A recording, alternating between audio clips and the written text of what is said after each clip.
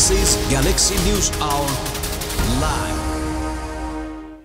नागरिकको जीवनस्तर र दैनन्दिनको दुःखलाई एकातिर राख्ने हो भने नेपाल अहिले दुई ठुला समस्याबाट ग्रसित छ प्रदेश सरकारहरूका अराजनैतिक निर्णय र केन्द्र सरकारको कुशासन बेथितिको श्रृङ्खला केन्द्रबाट प्रदेश हुँदै स्थानीय तहसम्म सरेर इतिहास रचिसकेको छ राजनीतिक भागभण्डा र गठबन्धन टिकाउन गरिएका हरकतले मुलुकका तिनै सरकारलाई बन्धक बनाएका छन्। आसेपासेलाई रिजाउन र खुसी पार्न राज्य कोषको दुरुपयोग यो मुलुकका लागि नौलो रहेन। वित्तीय अनुशासनहीनताको श्रृङ्खलामा थपिएको छ एउटा अर्को व्यथिति जसले हाम्रा शासकको नियत छर्लङ्ग पार्छ। विकास बजेट खर्चको अवस्था दशकौँदेखि मन कुडाउने खालको छ। वार्षिक बजेटमा उल्लेख गरिएका विकास आयोजनाको प्रगति हेर्दा विरक्त लाग्छ। यो आर्थिक वर्षमा विकासका लागि तिन खर्ब अठहत्तर अर्ब रुपियाँ बजेट छुट्याएको थियो तर सात महिना बित्न लाग्दा सोह्र प्रतिशत पनि खर्च भएको छैन। बजेट खर्च गर्न नसक्ने विकासे मन्त्रालयले छड्के बाटोबाट सरकारसँग बाहिरबाटै थप सवा दुई खर्ब रुपियाँ माग गरेका छन्। उनीहरूले संसदबाट पारित बजेटको मान मर्दन मात्रै गरेका छैनन्। काम गर्न नसकेको अक्षमता लुकाउने प्रयास पनि गरिरहेका छन्।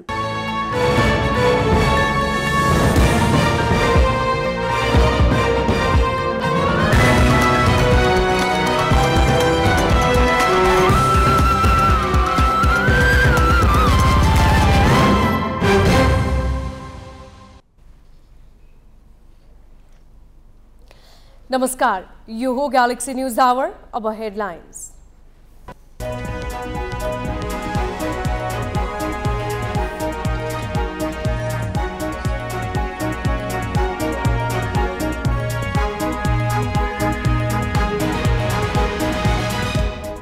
स्थानीय चुनावमा एक करोड अठहत्तर लाख मतदाता हुने प्रारम्भिक आकलन आवश्यक जनशक्ति र बजेट तर्जुमाका लागि आयोगले बनायो बेग्ला बेग्लै कार्यदल।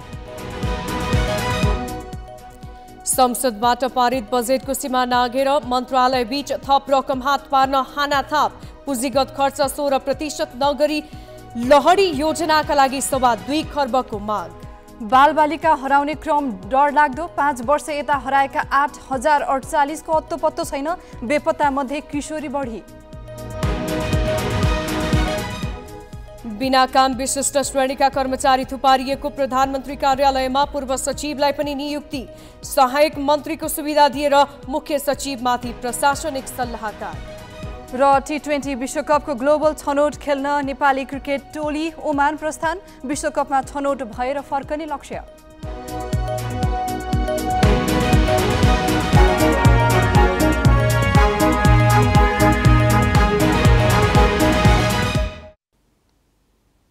सरकारले यो आर्थिक वर्षका लागि जेठ पन्ध्रमा तिन खर्ब अठहत्तर अर्ब रुपियाँ पुँजीगत बजेट छुट्यायो तर सात महिना बित्न लाग्दा सोह्र प्रतिशत पनि खर्च भएको छैन।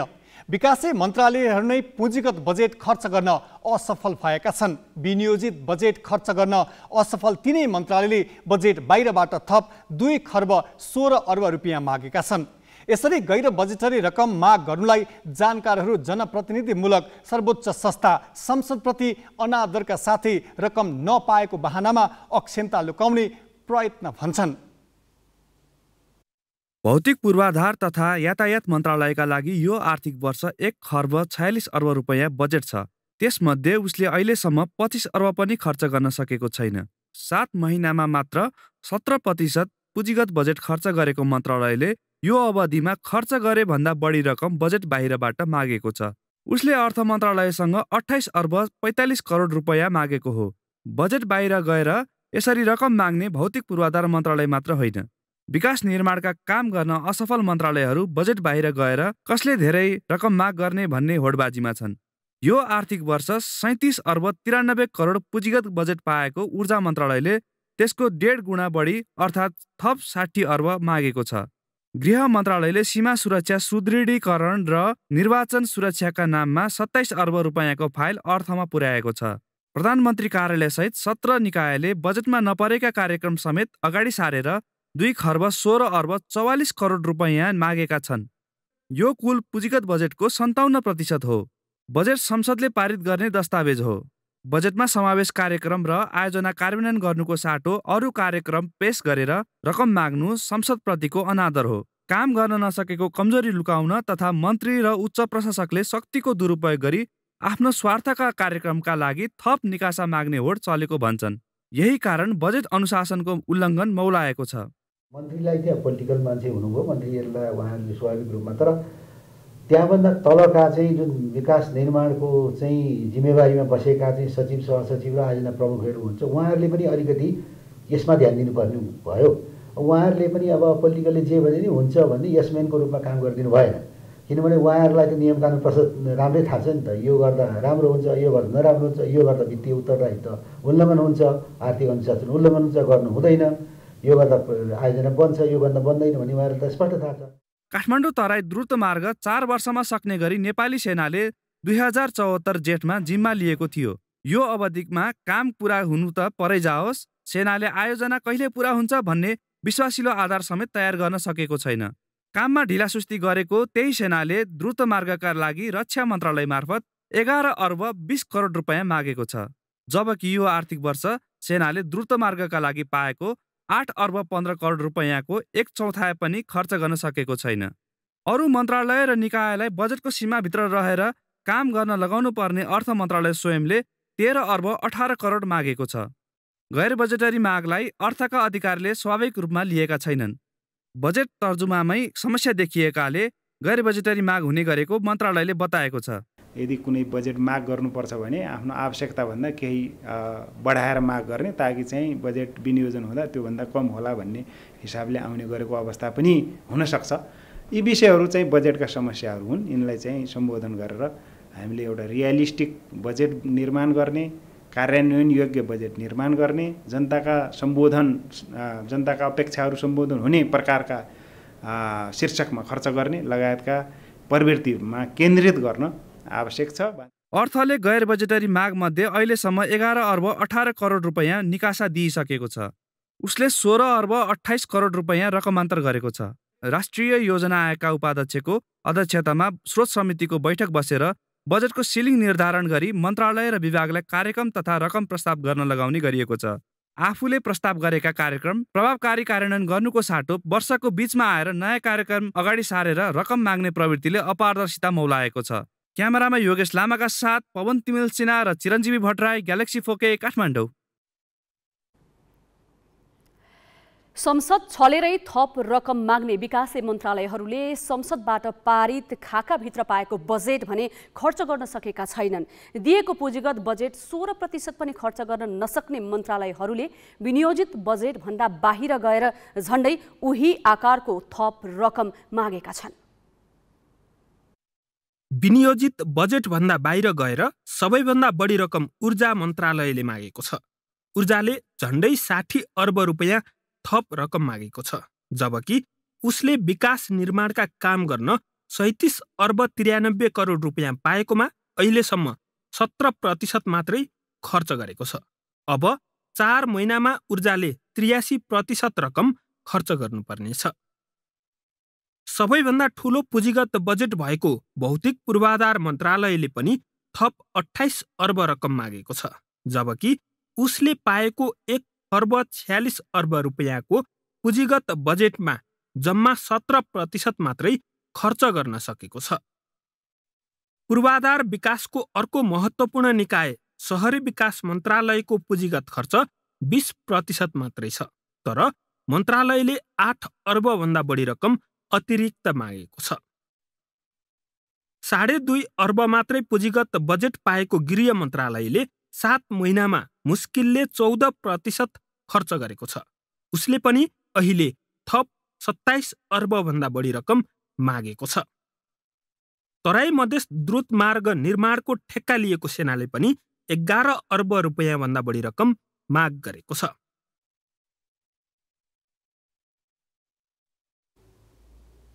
संसदबाट पारित भएका शीर्षकमा खर्च गर्न नसक्ने विकासे मन्त्रालयले बेग्लै बाटो समाएर थप रकम निकासा किन माग गर्छन्? यस्तो रकमले कस्तो नतिजा दिन्छ? यो प्रश्न हामीले अर्थ मन्त्रालयका पूर्व सचिव रामशरण पुडा सैनीलाई सोधेका छौँ। वित्तीय अनुशासनहीनता हो यो। वित्तीय अनुशासन मा चाहिँ के हुन्छ भन्नु होला भने पार्लियामेन्ट्री सुविधाहरूको बजेटभित्रै खर्च गर्नुपर्छ र खर्च नगर्नेहरूले वित्तीय उत्तरदायित्व कानुनअनुसारको जवाफदेही हुनुपर्छ। तर हामी कहाँ चाहिँ कस्तो भने खर्च गर्नु नसक्ने अथवा नगर्ने अथवा आफ्नो अनुकूलका आयोजना छैन भने कार्यान्वयन नगरिदिने। होइन? तर अनि पछि के हुन्छ भने आर्थिक वर्षको बिचमा चाहिँ आफूलाई अनुकूल आफ्ना पार्टी र कार्यकर्तालाई अनुकूल हुने खालका र आफ्नो निर्वाचन क्षेत्रमा अनुकूल हुने खालका आयोजनाहरू र कार्यक्रमहरूमा चाहिँ नयाँ इन्ट्री गरेर बजेट दिने जुन प्रचलन छ यो एउटा चाहिँ हाम्रो कानुन र नीतिको ठाडे उल्लङ्घन हो। एउटा दोस्रो कुरो के भन्छ भने यो प्रवृत्तिले चाहिँ वित्तीय अराजकता वित्तीय अनुशासनहीनता चाहिँ यसले मौलम्छ दोस्रो कुरा। तेस्रो चाहिँ यसले चाहिँ सार्वजनिक पदाधिकारी खर्च गर्ने पदाधिकारीहरू जो छन् तिनको चाहिँ वित्तीय उत्तरदायित्व चाहिँ कायम हुँदैन यसबाट। उनीहरूको जवाबदेहिता पनि क्षीण हुन्छ र उत्तरदायित्व चाहिँ अहिले चाहिँ देखिँदैन। र अर्को विषय के भन्छ भने यसरी आर्थिक वर्षको बिचमा आफ्ना अनुकूलका आयोजनाहरूमा बजेट छर्दाखेरिको परिणाम भनेको यसले कुनै आउटपुट आउँदैन। मुख्य यसमा जिम्मेवार भनेको चाहिँ अर्थ मन्त्रालय हुन्छ। किनभने बजेट नियन्त्रण गर्ने काम अर्थ मन्त्रालयको हो। वित्तीय अनुशासन कायम गर्ने पनि काम अर्थ मन्त्रालयको हो। आयोजनाहरूको प्राथमिकरण गर्ने पनि अर्थ मन्त्रालय काम हो। त्यसैले अर्थ मन्त्रालयले चाहिँ अलिकति चाहिँ तपाईँको बजेट म्यानेजमेन्टमा अलिकति प्रोफेसनलिजम देखाउन नसक्दाखेरि को परिणाम हो यो अनेक बाहनामा विकास अड्काउने र असारको भेल बग्न थालेपछि बजेट सक्न आँखा चिम्लिएर पैसा बगाउने रोग बहुदल आएदेखिकै हो। वित्तीय अनुशासनहीनताको राज्यका कुनै अङ्ग र निकाय अछुतो छैनन्। बाह्र वर्षमा खोलो पनि फर्कन्छ भनिन्थ्यो। व्यवस्था फेरिएको डेढ दशक भइसक्दा पनि राजनीतिक दल र नेताहरूको नियत सही ठाउँमा फर्किएन। विकास निर्माणमा असफल भौतिक पूर्वाधार तथा यातायात ऊर्जा र स्वयं अर्थ मन्त्रालयले बजेटभन्दा बाहिरबाट पैसा मागिरहेका छन्। विडम्बना वित्तीय अनुशासनहीनताको यस श्रृङ्खला कसले रोक्ने होला? अब केही न्युज संक्षेपमा। स्थानीय तहको निर्वाचनको मिति घोषणापछि नेपाली कङ्ग्रेसले पदाधिकारी बैठक बोलाएको छ। कङ्ग्रेसले भोलि दिउँसो दुई बजेका लागि पदाधिकारी बैठक बोलाएको हो। सभापति शेरबहादुर देउबा बाहेकका पदाधिकारीले नीति घोषणा पछिको अवस्थामा कसरी अघि बढ्ने भन्ने बारे आज पार्टी कार्यालय सानेपामा अनौपचारिक छलफल गरेका थिए। पार्टीको रणनीतिबारे भोलिको बैठकमा छलफल हुने सहमहामन्त्री बद्री पाण्डेले जानकारी दिए। उनका अनुसार सत्ताइस गतेका लागि तय केन्द्रीय कार्य समितिको बैठकमा पेश गर्ने एजेन्डाबारे पनि बैठकमा छलफल हुनेछ। दुई महिना अघि पार्टीको महाधिवेशन हारेका राष्ट्रिय प्रजातन्त्र पार्टीका पूर्व अध्यक्ष कमल थापाले पार्टीबाट अलग हुने घोषणा गरेका छन्।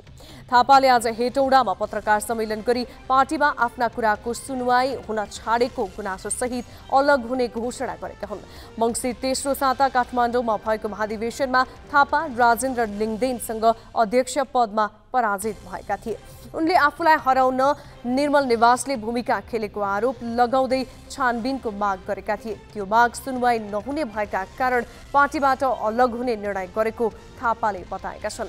उनले पार्टीका आफू पक्षीय पदाधिकारी र केन्द्रीय सदस्यको भेला गरेको भोलिपल्ट राप्रपा छाड्ने निर्णय लिएका हुन्। पार्टीले भने थापालाई अलग हुने निर्णय अनपेक्षित भएकाले पुनर्विचार गर्न भनेको छ। कर्णाली प्रदेशका नवनियुक्त पाँच मन्त्रीको नियुक्ति खारेजीको माग गर्दै उच्च अदालत सुर्खेतमा रिट परेको छ। संवैधानिक व्यवस्थालाई लत्याउँदै मन्त्री परिषद विस्तार गरिएको जेकिर सहित अधिवक्ता शेरबहादुर खत्री र टिका विष्टले प्रदेश सरकार र प्रदेश प्रमुखको कार्यालय विरुद्ध आज रिट दायर गरेका हुन्। कर्णाली प्रदेशमा सोमबार पाँच मन्त्री नियुक्त भएका थिए। संविधानले समानुपातिक र समावेशी सहभागितालाई सुनिश्चित गरे पनि सरकार विस्तारमा त्यसलाई बेवास्ता गरिएको रिटमा उल्लेख छ। रिटमा मुद्दाको टुङ्गो नलाग्दासम्म मन्त्रीलाई काम कारवाही गर्न नदिनको लागि अन्तरिम आदेश माग गरिएको छ। कर्णाली प्रदेशका उद्योग पर्यटन वन तथा वातावरण मन्त्री छिरिङ डमडुल लामा कार्टुनको विवादित पृष्ठभूमिबारे प्रसारित सामग्रीलाई लिएर उनका समर्थकले ग्यालेक्सी फोर केका कर्णाली ब्युरो प्रमुख सुदेव पुरीलाई धम्की दिएका छन्।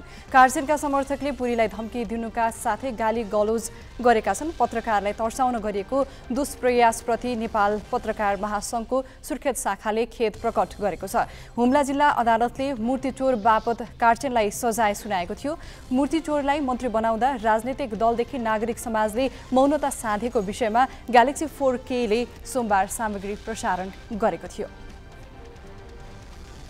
आज कोभिडका एघार बिरामीको मृत्यु भएको छ। स्वास्थ्य मन्त्रालयका अनुसार पछिल्लो चौबिस घन्टामा एघारजना थपिएपछि कोभिडका कारण मृत्यु हुनेको सङ्ख्या एघार हजार आठ सय अडतिस पुगेको छ। यस्तै आज एघार सय पचासी सङ्क्रमित थपिएका छन्। आठ हजार पाँच सय सतासीजनाको पिसिआर परीक्षण गर्दा चौध प्रतिशतमा कोभिड देखिएको हो। आज काठमाडौँ उपत्यकामा चार सय एकाउन्न सङ्क्रमित थपिएका छन्। पाँच हजारभन्दा बढी सङ्क्रमणमुक्त भएकाले सक्रिय सङ्क्रमितको सङ्ख्या छत्तिस हजारमा झरेको छ। पेट्रोलियम पदार्थमा मूल्य वृद्धिबारे संसदीय समितिले छानबिन गर्ने भएको छ। राज्यका निर्देशक सिद्धान्त नीति र दायित्वको कार्यान्वयन अनुगमन तथा मूल्याङ्कन समितिको आज सिंहदरबारमा बसेको बैठकले पेट्रोलियम पदार्थमा मूल्य वृद्धिबारे छानबिन गर्ने निर्णय गरेको हो। त्यसका लागि समितिले राष्ट्रिय जनमोर्चाकी सांसद दुर्गा पौडेलको संयोजकत्वमा तीन सदस्यीय उपसमिति गठन गरेको छ। उपसमितिमा खेम लोहनी र लक्ष्मी परियार सदस्य छन्। अन्तर्राष्ट्रिय बजारमा भाउ बढेको कारण देखाएर आयल निगमले दुई सातामा दुई पटक पेट्रोलियम पदार्थको मूल्य बढाइसकेको छ। बैठकमा समितिका सदस्यहरूले विद्युतीय सवारी साधनको प्रयोग र निगमको चुहावट रोकथाममा जोड दिएका थिए। बालबालिका हराउने क्रम डरलाग्दो गरी बढेको छ। तीमध्ये निकै कम भेटिएको प्रहरीको तथ्याङ्क देखिन्छ। कहाँ जान्छन् त ती बालबालिका? यो प्रसङ्ग साजना तामाङबाट। बालबालिका हराउने क्रम डरलाग्दो गरी बढेको छ। पछिल्लो पाँच वर्षमा आठ हजार अडचालिस बालबालिका हराएका हराइछन्। उनीहरू कहाँ छन् घर परिवारलाई मात्रै होइन सरकारलाई समेत थाहा छैन। हराएका बालबालिकाको डरलाग्दो ग्राफ सामुन्य आइरहँदा नियामक निकाय भने झनै कमजोर देखिएका छन्।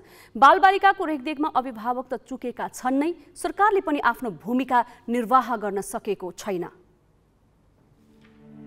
सुनौलो सुकुम्बासी बस्तीको रुग्न छानो। हिउँदमा तप तपी शीत झुहिन्छ वर्षातको भेल र मुसलधारे वर्षाले सुकुम्बासी छानोलाई झनै जीर्ण तोल्याउँछ। परिवारको दुःख पन्साउन इटहरी उपमहानगरपालिकाकी उन्नाइस वर्षीय सीता नेपाली भारत गइन् आफन्तको सहयोगमा। दुई हजार बहत्तरमा भारत पसेकी सीताले दुई वर्षसम्म घरमा आउजाउ गरिरहन्। केही रुपैयाँ पनि पठाइन्। उनले पठाएको रकमले गरिबीले थोत्र्याएको छानो फेर्ने परिवारको धोको थियो तर विपत्ति निर्मम बनिदियो वर्षातमा बुढी खोलाको भेलले छोरीले पठाएको पचास हजार रुपियाँ त बगायो नै त्यही वर्षबाट छोरी पनि बेपत्ता भइन्। मेरो छोरी इन्डिया गएको छ गएको थियो काममा लगाइदिन्छु भनेर लगेको थियो अनि काममा लगाइदिन्छु भनेर लग्दाखेरि भरे चौतारमा बाढी आएको थियो अनि त्यति बेलादेखिसम्म फोन गरेर पैसा पठाएको थियो त्यहाँदेखि पचास हजार रुपियाँ पैसा पठाएको थियो। मम्मी सस्तो मस्तो जग्गा किन्नु सुकुम्बासीमा भनेको थियो भरे खोलाएर लगिदिइहाल्यो खोलाले जेब्रामा हालेर राखेको थियो जेब्रा सुतै लगिदियो खोलाले। अनि ला लाँदाखेरि त्यहाँदेखि छोरीसँग फोनमा बिन छ बोल्न पनि नानीको खोजी खबर पनि गरेको छुइनँ आउँछु आउँछु भन्छन् ल्याइदिन्छु ल्याइदिन्छु भन्छन् मेरो छोरी खोजेर आस्था गरिरहेछु र पनि खोइ आउँछ कि आउँदैन सपनामा देख्दिनँ केही थाहा छैन। यो दिनहीन परिवारले छोरी आउने आश मारेको छैन। घरमा मिठो मसिनो पाके छोरी भोकै छ कि भनेर तडपिरहन्छ। घर परिवार नयाँ अनुहार देखे छोरी हो कि भनेर चनाखो बन्छ। तर छोरी बेपत्ता नै छन्। छोरी आउने आशामा परिवारका सदस्यले प्रहरीलाई उजुरी समेत गरेका छैनन्। बेपत्ता हुने सीता एक्ली होइनन्। पछिल्लो पाँच वर्षमा आठ हजार अडचालिस बालबालिका र किशोर किशोरीका परिवार यस्तै वियोगको भुङ्रोमा छन्। घरको घाम बनेका बालबालिका एकाएक बेपत्ता बनिदिँदा र लाख कोसिस गर्दा पनि फेला नपर्दा कुन चाहिँ अभिभावक चैनसँग निधाउन सक्छ? उनीहरूले पल पलमा प्रताडना झेलिरहेका छन्। बेपत्ता बालबालिका र किशोर किशोरी कहाँ छन्?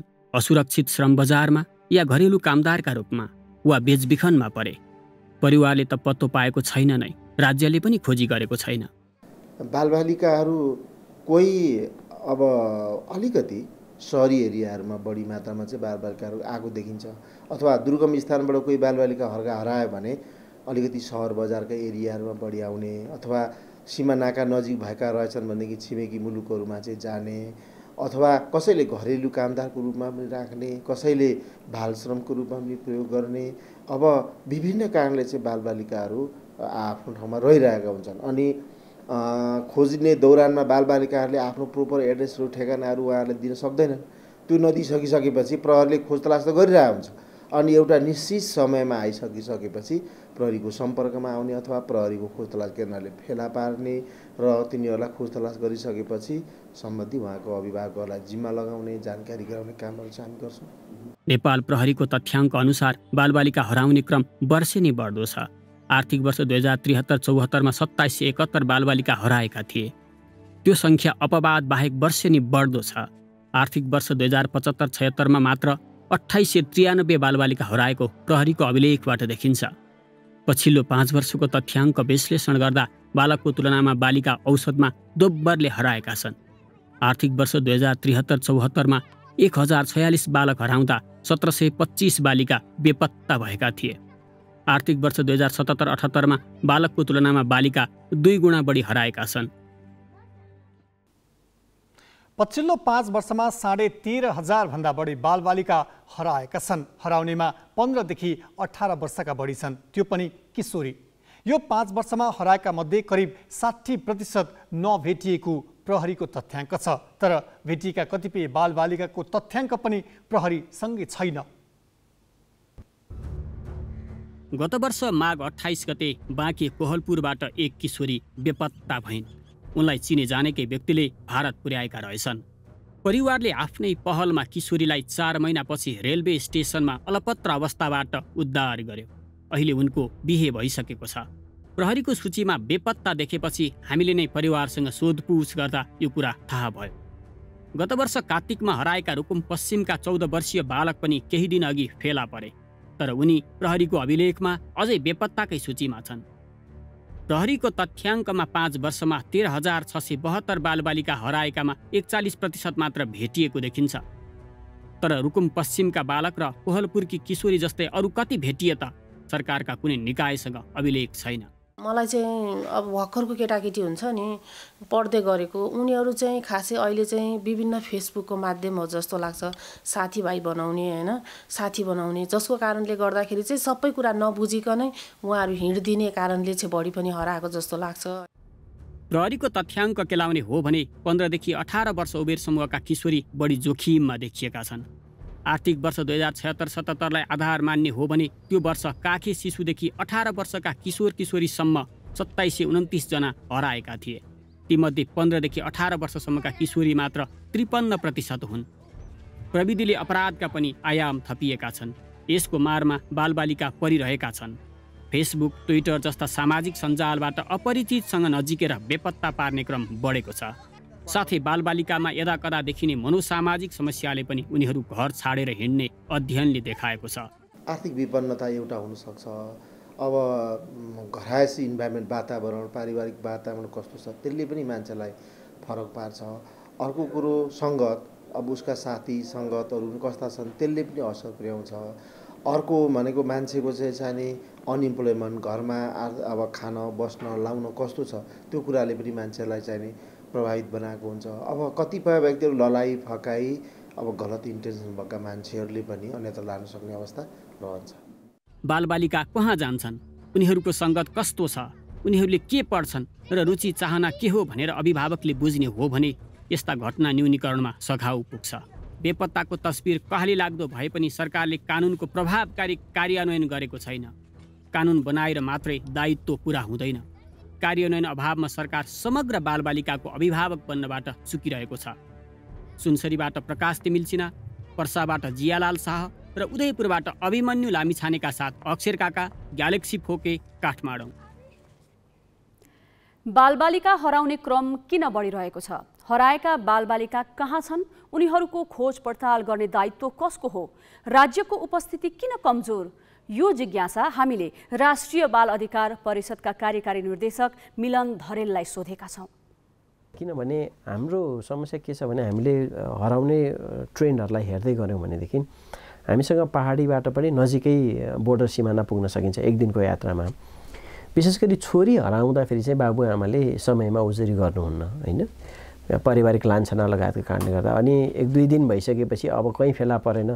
अब प्रहरीमा जाउने भन्ने दबाब आइसकेपछि उहाँहरू प्रहरीमा आइपुग्नुहुन्छ हाम्रो खोजतला सेवामा आइपुग्नुहुन्छ। त्यसो गर्दाखेरि सीमा कटिसकेको अवस्था हुने हुँदाखेरि हामीले भारततर्फ लगिएको अनुमान धेरै ठाउँमा गर्न सक्छौँ। त्यस अर्थमा भारततर्फ बालिका किशोरीहरूलाई लगिनुको मुख्य कारण भनेको या त यौन व्यवसाय हो या त श्रम शोषण हो होइन? या अन्य किसिमका त्यसै किसिमको अर्गान लगायतको बेचबिखनको कुरामा पर्न सक्ने जोखिमता चाहिँ हामीले गर्छ। तर त्यसको एकिन तथ्याङ्कहरू हामीसँग नभएको कारणले गर्दा यसै भयो भन्न सकिने अवस्था चाहिँ रहेन। हामीसँग अब अहिले हामीले राष्ट्रिय बाल अधिकार परिषदले बालबालिका खोज तलास सेवा एक सय चार सञ्चालन गरेको बैसठी त्रिसठी पछि साबिक केन्द्रीय बाल कल्याण समितिदेखि नै हामीले सुरुवात गरेको हो। यो पन्ध्र वर्षको अवधिमा हामीसँग करिब करिब तेह्र हजार प्लस बालबालिकाहरूको चाहिँ हराएको हराए तथ्याङ्क छ। फेला नपरेको तथ्याङ्क छ। त्यसका पछाडि सबै बेचिए भन्न त सकिँदैन। अहिले हामी चाहिँ ती सबैको यो विगत एक हप्तादेखि यता चाहिँ हामीले ती तेह्रै हजार बालबालिकाहरूको फेरि पुनः फलोअप गर्दैछौँ कि उनीहरू फेला परे कि परेनन् वा उनीहरू कहाँ छन्। अहिले फलोअप गर्दाखेरि पनि भेटिएनन् भनेदेखि चाहिँ हाम्रो प्रयत्न चाहिँ अब भारतीय संस्थाहरूसँग समन्वय गरेर त्यहाँका विभिन्न बालगृहहरूमा चाहिँ उद्धार गरिएका बालबालिका नेपाली बालबालिकाहरू करिब सात हजार प्लसको सङ्ख्यामा छ भन्ने छ। त्यसो हुँदाखेरि ती बालबालिकाहरूमध्ये कति यिनै तेह्र हजार बालबालिकाभित्रका बालबालिका पनि हुन सक्छन् भन्ने त्यो चाहिँ खोजी गर्ने प्रक्रियामा हामी छौँ अहिले। बालबालिकाको सुरक्षामा राज्य नै अग्रसर हुनुपर्छ। बालबालिकाको शङ्कास्पद ओछार पोछार रोक्न राज्य संयन्त्र नै बढी चनाखो हुनुपर्छ। सुरक्षाका नाममा अभिभावकलाई अनावश्यक झन्झट थप्ने होइन। चुस्त प्रणाली विकास गर्नुपर्छ। अब पालो सही कि गलतको?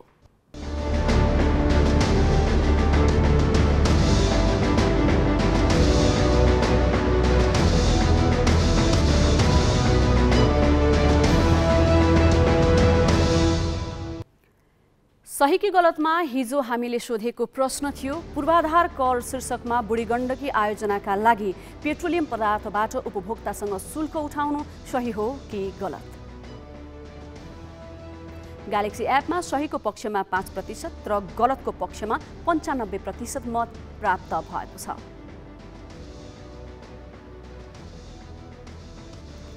अब आजको प्रश्न अध्यक्षमा पराजित भएको दुई महिनामै राष्ट्रिय प्रजातन्त्र पार्टी छाड्ने निवर्तमान अध्यक्ष कमल थापाको निर्णय सही लाग्यो कि गलत? तपाईँले आफ्नो मत ग्यालेक्सी फोर के टिभी एपमा गएर राख्न सक्नुहुन्छ। यसको अन्तिम परिणाम भोलिको न्युज आवरमा प्रसारण गरिनेछ। Galaxy app Google play store र एप स्टोरबाट डाउनलोड गर्न सक्नुहुन्छ। अब केही न्युज संक्षेपमा। महिला बालबालिका तथा ज्येष्ठ नागरिक मन्त्री उमा रेग्मीले भ्रिकुटी मण्डप क्षेत्र क्षेत्रको अनुगमन गरी सटर भाडामा बिचौलियाको अन्त्य गर्न निर्देशन दिएकी छन्। समाज कल्याण परिषदसँग सस्तोमा लिएर व्यापारीलाई महँगोमा भाडा लगाएकाले मन्त्री रेग्मीले सटर भाडामा बिचौलियालाई स्थान नदिन भनेकी हुन्। उनका अनुसार नै भ्रिकुटी मण्डपमा सटर दस तहमा भाडा लाउने काम भइरहेको छ। परिषदसँग पाँच सय रुपियाँमा परिषदसँग पाँच सय रुपियाँ तिर्ने गरी लिएर व्यापारीसँग पाँच हजार रुपियाँ भाडा उठाउने गरिएकाले मन्त्रीले यसलाई अन्त्य गर्न भनेका छन्।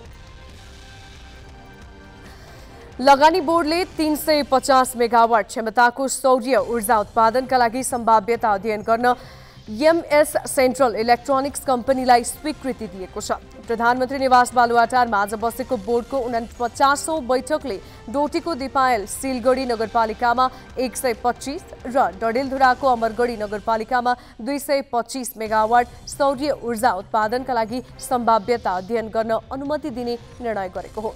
तीन सय पचास मेगावाट सौर्य ऊर्जा उत्पादन गर्न तेइस अर्ब रुपियाँ खर्च हुने अनुमान छ। बैठकले डावर नेपाल उद्योगको क्षमता अभिवृद्धि तथा उत्पादन विविधीकरणका लागि नौ अर्ब अडसट्ठी करोड त्रिसठी लाख रुपियाँ लगानी स्वीकृत गरेको छ। स्थानीय तहको निर्वाचन घोषणालाई धेरैले सकारात्मक रूपमा लिए पनि सेयर बजारमा भने उत्साह देखिएन। निर्वाचनको मिति घोषणाको भोलिपल्ट आज नेप्से परिसूचक सोह्र दशमलव तीन अङ्कले घटेको छ। निर्वाचनका कारण बजारमा नगद प्रवाह बढी नेप्से बढ्ने लगानीकर्ताको बुझाइ थियो। बजार खुलेको पाँच मिनटमा नेप्से बढेर उन्तिस सय एकतिस अङ्कमा पुगेको थियो तर त्यो वृद्धि टिक्न सकेन। त्यसपछि निरन्तर गिरावट आयो। नेप्से अन्तिममा अठाइस सय पैँतिस दशमलव छ अङ्क कायम भए लगानी जलविद्युत विकास ब्याङ्क लगायत आठवटा समूहले नेप्से घटाएका हुन्। आज एक सय चालिस कम्पनीका लगानीकर्ताको सम्पत्ति घटेको छ। छ अर्ब अठाइस करोड बहत्तर लाख रुपियाँको सेयर किनबेच भएको छ। जगदम्बा स्टिलले आफ्ना उत्पादन तेस्रो देशमा निर्यात गर्न थालेको छ। जगदम्बा स्टिलले नेपालको औद्योगिक इतिहासमै पहिलो पटक तेस्रो देशमा स्वदेशी उत्पादनको निर्यात थालेको हो। विदेशमा आफ्ना कलर कोटेड कोइल्स तथा सिटको माग भएकाले निर्यात थालेको छ। उसले दक्षिण पूर्वी र मध्य पूर्वी एसियाली देश तथा दक्षिण अफ्रिकामा आफ्ना उत्पादनको माग रहेको बताएको छ। दोस्रो पटक विश्वकप खेल्ने लक्ष्यसहित नेपाली राष्ट्रिय क्रिकेट टिम आज ओमान गएको छ। ओमानमा नेपालले ICC T twenty global qualifier खेल्नेछ। Global qualifier अगाडि नेपालले चार देशीय टी ट्वेन्टी सिरिज खेल्नेछ। सिरिजका लागि युवा स्पिनर सागर ढकाललाई टिममा समावेश गरिएको छ। सागरलाई समेटिएपछि सत्र खेलाडीसहित बाइस सदस्यीय टोली ओमान गएको हो। सिरिजमा नेपालले ओमान आयरल्यान्ड र युएईसँग खेल्नेछ। ग्लोबल क्वालिफायरमा भने आठ देशले प्रतिस्पर्धा गर्नेछन्। फाइनलमा पुग्ने दुई टिम सन् दुई हजार बाइसमा अस्ट्रेलियामा हुने टी ट्वेन्टी विश्वकपका लागि छनौट हुनेछन्। नेपालले समूह चरणमा आयोजक ओमान फिलिपिन्स र क्यानाडासँग खेल्नेछ। नेपालले पहिलो खेल फागुन छ गते ओमानसँग खेल्नेछ। नेपालले सन् दुई हजार चौधमा पारस खड्काको कप्तानीमा पहिलो पटक विश्वकप खेलेको थियो।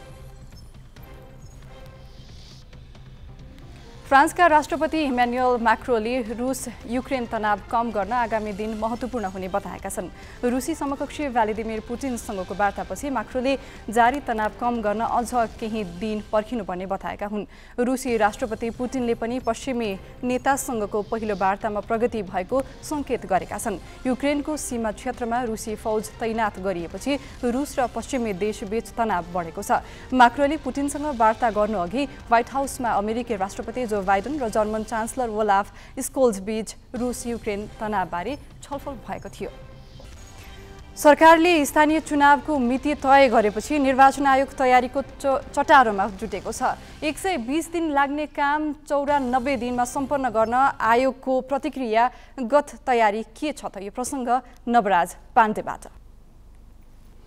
सरकारले सोमबार स्थानीय तहको निर्वाचनको मिति घोषणा गर्यो। लगत्तै निर्वाचन आयोगले निर्वाचनको तयारीलाई तीव्रता दिएको छ।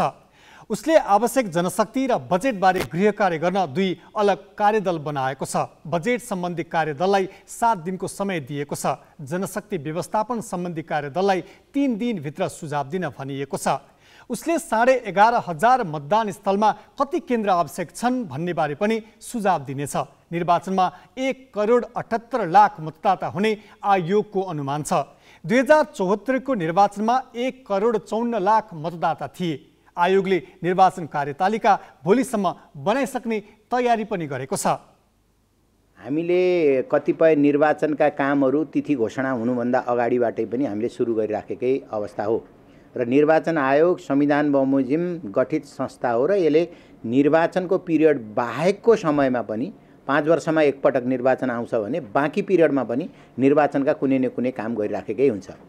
त्यसमध्ये मतदाता नामावली सङ्कलन मूल काम हो। त्यो चाहिँ हिजो पाँच बजेपछि अथवा आज दस बजेबाट त्यो कार्य हामीले बन्द गरेको स्थगित गरेको अवस्था हो।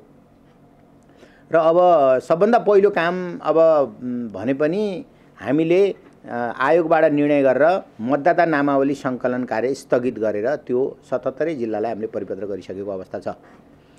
र त्यसबाहेक अब केही कामहरू पहिला पनि भइराखेका थिए भने हिजोको घोषणाबाट त्यो स्पिड भनिन्छ नि फोर्थ गियरमा हाम्रो गएको अवस्था छ। त्यसमा चाहिँ विशेष त विभिन्न खालका दस बाह्रवटा निर्देशिकाहरू आवश्यक हुन्छन् निर्वाचनको लागि। ती निर्देशिकाहरू हामीले तयारी गर्न विभिन्न समितिहरू गठन भएको छ र त्यसको लागि मसौदा तयार हुन्छ। समितिहरूबाट एक दुई दिनमा ती मसौदाहरू आउँछन्। अथवा निर्देशिका हेरेर कतिपय निर्देशिकालाई आठ दस दिन पनि लाग्न सक्ला कतिपय निर्देशिकाहरू दुई तिन दिनमा पनि बन्न सक्लान्।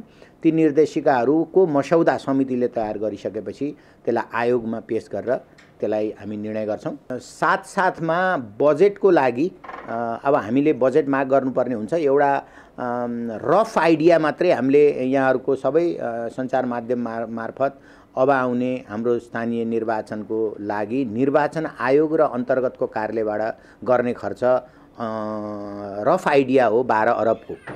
तर अब त्यसको लागि पनि हामीले त्यसको लागि पनि केही तयारीहरू लेखाजोखाहरू गर्नुपर्ने हुन्छ। त्यो काम पनि सुरु भएको छ। विभिन्न शाखाहरूबाट कुन कुन शाखामा के कति खर्च लाग्छ भन्ने कुराहरू हामीले अनुमान कलेक्सन गरिरहेछौँ। अब सबै दलहरूको सहमति बिना डिजिटलमा जान सकिने अवस्था रहन्न र अब यतिखेर नब्बे दिन बाँकी रहँदा हामीले बाहिर डिजिटल यो सामग्रीहरू प्रविधि सम्बन्धी सामग्रीहरू खरिद गरेर ल्याएर अब गर्न सकिने देशभरि गर्न सकिने अवस्था छैन। तर पनि आयोगले अझै पनि केही ठाउँमा होइन? अब काठमाडौँ जिल्ला मात्रै अथवा केही महानगरपालिकालाई मात्रै गर्न सकिन्छ कि भन्ने कुरामा सोच राखेको प्रधानमन्त्री शेरबहादुर देउवाले केही दिन यता एकपछि अर्को सहयोगी नियुक्त गरिरहेका छन्। भाषण लेख्नका लागि पनि नियुक्ति दिइएको छ। प्रेस सहयोगीका नाममा जागिर दिने त पुरानै चलन हो। देउवाले प्रधानमन्त्री तथा मन्त्री परिषद कार्यालयका सचिवले काम नपाएर हाजिर गरेकै भरमा जागिर पकाइरहेकामा प्रशासनिक सल्लाहकारका नाममा पूर्व सचिवलाई नियुक्ति दिएर राज्यकोषमा भार थोपरेका छन्। यसरी जथाभावी नियुक्ति दिइनुलाई जानकारहरूले ढुकुटी रित्याउने मेलो भनेका छन्। प्रधानमन्त्री तथा मन्त्री परिषद कार्यालयमा कर्मचारीको कमी छैन। अहिलेको कामका लागि दुईजना सचिव नै पर्याप्त हुनेमा आठ सचिव राखिएका छन्। कार्यालयमा माघ बिचसम्म नौ सचिव थिए। त्यो दिन शिशिर कुमार ढुङ्गनाले अवकाश पाए। आठ सचिवमध्ये आधाले हाजिर गरेकै भरमा जागिर पकाइरहेका छन्। उनीहरूले काम पाएका छैनन्। यसरी विशिष्ट श्रेणीका कर्मचारीलाई कामविहीन बनाएका प्रधानमन्त्री देउवाले प्रशासनिक सल्लाहका लागि पूर्व सचिव जनार्दन नेपाललाई जागिर दिएका छन्। नेपाल न प्रशासनिक मामिलामा दखल राख्ने सचिव हुन् न त सचिव हुँदा उनले त्यस्तो सम्झन लायक काम नै गरेका थिए। सचिवबाट आठ वर्ष अघि नै अवकाश पाएका उनले कङ्ग्रेस समर्थक भएको योग्यताका आधारमा सहायक मन्त्री स्तरको सुविधा पाउने गरी प्रधानमन्त्रीको प्रशासनिक सल्लाहकारमा नियुक्ति पाएका हुन्। प्रशासनिक सल्लाहकार राखिनुलाई जानकारहरूले करदाताले तिरेको रकम कार्यकर्ता पोस्न खर्च गर्ने मेलो मात्र भनेका छन्। प्रशासनिक सल्लाहकारको जहाँसम्म कुरा छ प्रशासनिक सल्लाहकार राख्नु मितविताको हिसाबले र उसले दिने सहयोग सुझाव सल्लाहका हिसाबले उपयुक्त हो भन्ने मलाई लाग्दैन।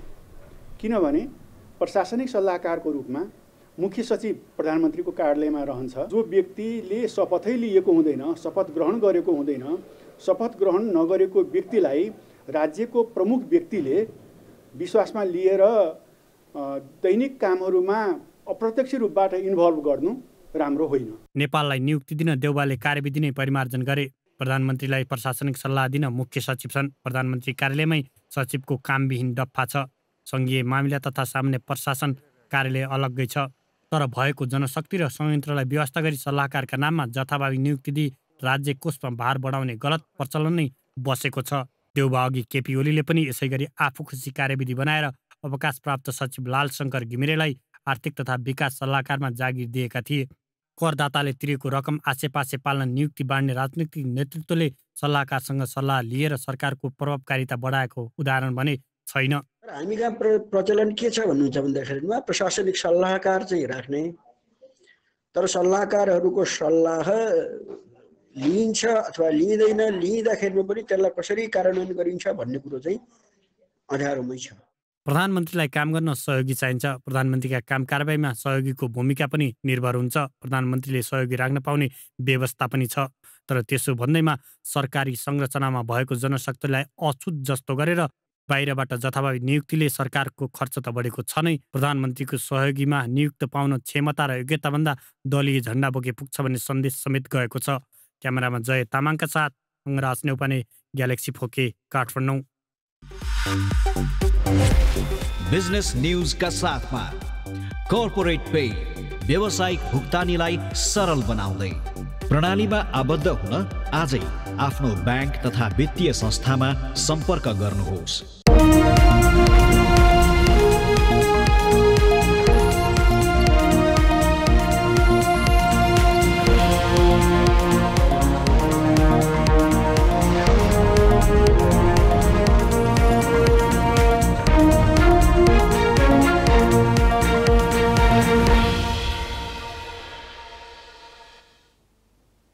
भारतले भर्खरै मात्र अभौतिक मुद्रा प्रचलनमा ल्याउने घोषणा गरेपछि यसले नेपालमा ठुलो बहस सिर्जना गरेको छ। क्रिप्टो करेन्सी भनिने भर्चुअल सम्पत्तिको कारोबार हुन थालेको तेह्र वर्षपछि संसारका ठुला अर्थतन्त्रहरू अब डिजिटल स्वरूपमा सरकारी जमानतको मुद्रा नै जारी गर्ने तयारीमा पुगेका छन्। छिमेकी चिनले अर्को वर्षदेखि औपचारिक रूपमा प्रयोग गर्ने भनेर डिजिटल युवानको परीक्षण सुरु गरिसकेको छ। भारतले पनि अबको केही महिनाभित्रै डिजिटल रुपियाँ जारी गर्ने घोषणा गरेको छ। तर नेपालले भने त्यसतर्फ अझै तयारी विहीन देखिन्छ नेपाल। चीन र भारत नेपालका लागि दुई छिमेकी त हुन् नै। यी देश संसारका प्रमुख अर्थतन्त्रको सूचीमा पनि अग्रस्थानमै छन्। नेपालको दुई तिहाईभन्दा बढी व्यापार साझेदारी पनि यिनै दुई देशमा निर्भर छ। यी देश अब आफ्ना मुद्रालाई अभौतिक रूपमा ढाल्ने अन्तिम खुड्किलोमा छन्। चीनले केही प्रान्तमा डिजिटल युवानको परीक्षण थालिसकेको छ भने भारतले अप्रिलमा आफ्नो डिजिटल रुपैयाँ जारी गर्ने घोषणा गरेको छ। दुई छिमेकीको यस्तो पहलले नेपाललाई भने ठुलो दबाव सिर्जना गरेको छ। खास गरी भारतले चालेको यो कदम नेपाली अर्थतन्त्रका लागि जोखिम र अवसर दुवै हुन सक्ने जानकारहरू बताउँछन्। नेपालको मौद्रिक नीति धेरै हदसम्म भारतबाट प्रभावित हुन्छ। खुल्ला सीमा स्थिर विनिमय दर र सीमा क्षेत्रको ठुलो जनघनत्वका कारण चीनभन्दा पनि भारतले चाल्ने मौद्रिक कदमबाट नेपालमा ठुलो असर पर्छ। नेपालले यसबाट सिक्न खोजेमा चाँडै आफूलाई रूपान्तरण गर्न पनि यो अवसर हुन सक्ने जानकारीहरू बताउँछन्। यसबाट नेपाललाई मनोवैज्ञानिक दबाव र आर्थिक हिसाब किताबले पनि प्रभाव पर्ने देखिन्छ। र यद्यपि नेपाल राष्ट्र ब्याङ्कले अघिल्लो वर्षको मौद्रिक नीति वर्षको मौद्रिक नीतिमा डिजिटल करेन्सीको अध्ययन गर्ने भन्ने उल्लेख त गरेको छ तर त्यसको लागि आवश्यक पर्ने तयारी भएको देखिन्न। किन त भन्दा अध्ययन नै पुरा भएको देखिन्न। डिजिटल मुद्रा र क्रिप्टो करेन्सी बारे धेरैलाई दुविधा पनि हुन सक्छ खासमा क्रिप्टो करेन्सीलाई कुनै राज्य वा निकायले प्रत्याभूत गर्दैन। त्यसको मूल्य कहिले बढ्छ र कहिले घट्छ? क्रिप्टो करेन्सी तिरेर सामान किन्ने सुविधा त कतै कतै छ तर त्यो भनेको पसलमा काउली दिएर चिनी किन्ने जस्तो मात्रै हो। अहिले भारत र चीनले जारी गर्न लागेको डिजिटल मुद्रा चाहिँ चिनिया युवान वा भारूकै भर्चुअल रूप हो। यस्ता मुद्रा केन्द्रीय बैङ्कले जारी गर्छन् त्यस्ता मुद्राको कारोबारका सबै विवरण राज्यसँग सुरक्षित हुन्छ। यी मुद्राको भाउ क्रिप्टो करेन्सी जस्तो घटबड पनि हुँदैन। क्रिप्टो करेन्सी अहिले दस रुपियाँ पर्छ भने त्यति नै क्रिप्टो दस वर्षपछि दस हजार वा एक रुपियाँ पनि हुनसक्छ तर आज दस रुपियाँ पर्ने डिजिटल मुद्राको भाउ दस वर्षपछि पनि दस रुपियाँ नै हुन्छ। सेन्ट्रल ब्याङ्क डिजिटल करेन्सी अर्थात् सिबिडिसी भनिने यस्ता मुद्रा प्रयोगमा ल्याउनु अघि राज्यले नागरिकका थुप्रै विवरणलाई डिजिटल माध्यममा सङ्ग्रहित गर्नु आवश्यक हुन्छ। नेपालमा पनि यस्तै अभौतिक मुद्रा जारी गर्ने भनेर यस वर्षको मौद्रिक नीतिमा उल्लेख भए पनि न पर्याप्त अध्ययन भएको छ न पूर्व तयारी छ। हामीहरू चाहिँ नै अब अहिले अध्ययन गर्छौँ। यो चाहिँ केमा जोडिन्छ भनेदेखि नेपालमा भएका मानिसहरूले हामी नेपालीहरूले इलेक्ट्रोनिकल्ली डिजिटल्ली कति भुक्तानी गर्न सक्छौँ हामी कति अभ्यस्त छौँ भन्ने कुरामा पनि भर पर्ने हुनाले त्यसको लेभल पहिला मापन गर्ने त्यसपछि हामी कुन कुन इन्फ्रास्ट्रक्चर तयार गर्नुपर्ने भनेर त्यो सबै कुरा नापजोख गरिसकेपछि त्यसबाट हामीहरू अगाडि बढ्ने भन्ने कुरामा हामी सहमत भएर अगाडि बढिरहेका छौँ। यो एउटा ज्यादा नै महत्त्वपूर्ण कुरा र आजको भोलि हुन सक्ने कुरा चाहिँ होइन यो। लेनदेनका लागि पशु कृषि उत्पादन सुन लगायतका धातुको विनिमय गर्ने प्रणालीबाट विश्वमा करिब सत्ताइस सय वर्ष अघि पैसा अर्थात् सिक्काको प्रयोग सुरु भएको थियो। विनिमय साधनका रूपमा धातुको प्रयोग भने पाँच हजार वर्ष अघि नै सुरु भएको मानिन्छ। तर सिक्काको कारोबार सुरु भएको पन्ध्र सय वर्षपछि बल्ल नोटको कारोबार सुरु भएको थियो। नोट प्रचलनमा आएको पनि एघार सय वर्षपछि डिजिटल मुद्रा आएको हो। यसबेला प्रशासनिक रूपमा कमजोर रहेको हाम्रो जस्तो मुलुकले अब कसरी अघि बढाउने भनेर रणनीति बनाउन ढिला भइसकेको छ। क्यामेरामा योगेश लामाका साथ Binay Banjara galaxy four K Kathmandu. Prince Dahal नाम जस्तै नेपाली ब्याडमिन्टनका राजकुमार। जुनियर विश्व नम्बर एक खेलाडी बनेपछि नेपाली खेलकुदमा उनको चर्चा भत्तै चुलियो। तर विडम्बना युवा तथा खेलकुद मन्त्री महेश्वर जङ गहतराजलाई प्रिन्स नम्बर एक बनेको थाहै रहेनछ। एक घन्टा लगाएर बेली विस्तार लगाउँदा पनि प्रिन्सको गौरवपूर्ण उपलब्धि मन्त्रीले बुझेनन्। मन्त्रीले नबुझ्दाको नतिजा सरकारले खेलाडीलाई गरेको सम्मानमय प्रकट भएको छ।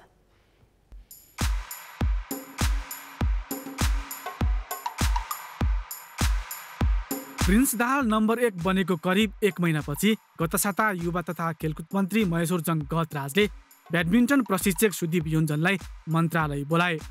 उनले योन्जन सामु प्रिन्स कसरी नम्बर एक बने भनी प्रश्न गरे। योन्जनले एक घन्टा लगाएर बेली विस्तार लगाए तर मन्त्रीले विश्व नम्बर एकको महत्त्व नबुझेको प्रधानमन्त्री निवासमा छर्लङ्ग भयो। शुक्रबार प्रधानमन्त्री निवास बालवाटारमा खेलाडीलाई सम्मान गर्ने कार्यक्रम थियो। त्यहाँ Asian senior central zone volleyball challenge कपको उपाधि विजेता महिला टोलीका खेलाडीले झनै पाँच लाख रुपियाँ पाए। तर प्रधानमन्त्रीले प्रिन्सलाई भने प्रमाणपत्र मात्र दिए। अन्तर्राष्ट्रिय ब्याडमिन्टन सिरिजमा उपाधि जितेर नम्बर एक बनेका प्रिन्स सरकारी व्यवहारले भने खिन्न बनेका छन्। भलिबलकै कुरा गरौँ होइन। भलिबलले अब पाँच लाख पायो। ब्याडमिन्टनले चाहिँ अब पाएन भनौँ न। हजुर अब सरकारबाट केही भयो भने त। बल्ल अब मेरो मात्र होइन कि सबैको आशा हुन्छ नि त। अब ल है सरकारले गर्छ। अब राम्रो खेल्यो भने अब मभन्दा पछाडिको खेलाडीहरूलाई पनि त आशा हुन्छ नि त। अब केही गऱ्यो भने अब ल है सरकारले केही गर्ने पर्ने गर्दो रहेछ भनेर। अब यस्तो भएपछि अनि अलि तलको अरू अरूहरूलाई पनि एकदमै मोरल डाउन हुने कुरा हुन्छ यस्तो कुराहरूमा। प्रिन्स अहिले अठार वर्षका भए। बाल्यकाल दार्चुलामा बिताएका प्रिन्सले ब्याडमिन्टनमा देखेका ठुला सपना पुरा गर्न पढाइलाई समेत व्यवस्था गरे। लगाव र मेहनतको परिणाम सानै उमेरमा उनको खेल कौशल र सफलता लोभ लाग्दो छ। यसको प्रमाण उनी जुनियरतर्फ विश्व नम्बर एक हुनु हो। हप्ताको तिन दिन उसले क्लास छोडेर पनि यहाँ ट्रेनिङ गर्न आउँथ्यो। बाँकी तिन चार दिन चाहिँ ट्रेनिङ गर्थ्यो। यहाँ आउँथ्यो ट्रेनिङ गर्थ्यो फेरि जान्थ्यो। त्यसरी भनौँ न अब उसको बुवाले अझ पनि मलाई कुरा सम्झिनु। उसको बुवाले मलाई के भन्नुहुन्थ्यो भने चाहिँ गुरु मेरो छोराले चाहिँ टी सर्टमा चाहिँ नेपाल लेखेको हेर्न पाऊँ भन्थ्यो। त्यो अझ अझै पनि याद छ मलाई। सन् दुई हजार अठारको दुबई इन्टरनेसनलमा त्यतिखेर विश्व वरियताको एक सय चारौँ स्थानमा रहेका प्रिन्सले नवौँ स्थानका भारतीय खेलाडी वरुण कपुरलाई पराजित गर्दै स्वर्ण जितेर सनसनी मचाए दुई हजार उन्नाइसमा उनले दुबई इन्टरनेसनल जिते। यो उनको करियरको ठुलो उपलब्धि थियो। नेपाली खेलकुद दक्षिण एसियाली खेलकुद प्रतियोगितामै सीमित रहेका बेला ओलम्पिकमा पदक जित्नु प्रिन्सको लक्ष्य हो। मेरो चाहिँ अहिले चाहिँ लक्ष्य अब यो एक वर्ष अझै बाँकी छ। अब त्यसलाई होल्ड गरेर राख्नु पऱ्यो होइन? अनि त्यसपछि चाहिँ ओलम्पिकको प्रोजेक्ट छ। ओलम्पिकमा मेडल ल्याउँछु भनेर लागिरहेको छु म यो टु थाउजन्ड ट्वेन्टी फोरको। अब त्यही हो मेरो अहिलेको लक्ष्य भनौँ। नेपाली ब्याडमिन्टनले दक्षिण एसियामै आफूलाई स्थापित गर्न नसकेको अवस्थामा प्रिन्सले विश्व ब्याडमिन्टनमा नेपाललाई चिनाएका छन्। तर यो उपलब्धिमा उनलाई खेल सङ्घ र सरकारले गरेको व्यवस्थालाई धेरैले नमिठो मानेका छन्।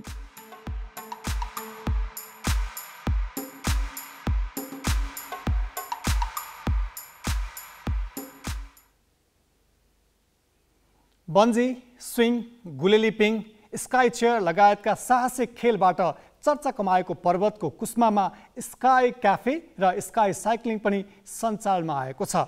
हेरौँ नदीको सतहबाट दुई सय पचपन्न मिटरको उचाइमा हुने स्काई क्याफे र स्काई साइक्लिङका रमाइला दृश्य।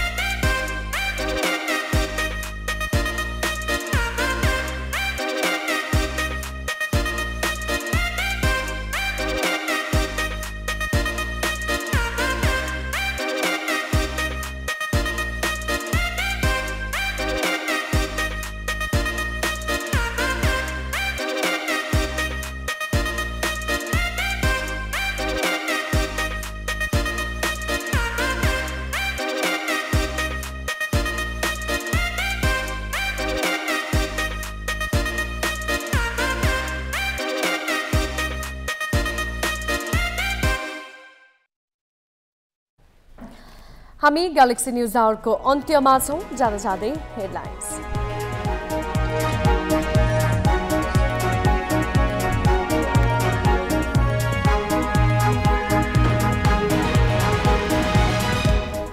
स्थानीय चुनावमा एक करोड अठहत्तर लाख मतदाता हुने प्रारम्भिक आकलन आवश्यक जनशक्ति र बजेट तर्जुमाका लागि आयोगले बनायो बेग्ला बेग्लै कार्यदल संसदबाट पारित बजेटको सीमा नाघेर मन्त्रालय बीच थप रकम हात पार्न हानाथाप। पुँजीगत खर्च सोह्र प्रतिशत पनि नगरी लहडी योजनाका लागि सवा दुई खर्बको माग। बालबालिका हराउने क्रम डर लाग्दो पाँच वर्ष यता हराएका आठ हजार अडचालिसको अत्तो पत्तो छैन। बेपत्ता मध्ये किशोरी बढी।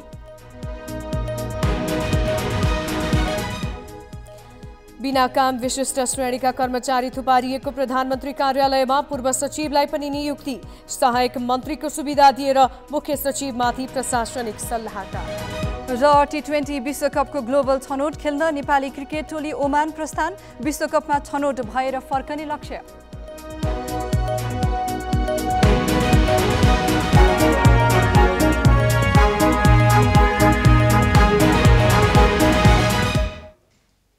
ಅಜಲೈ Galaxy News ಅವರ್ ಸಕ್ಯು Namaste.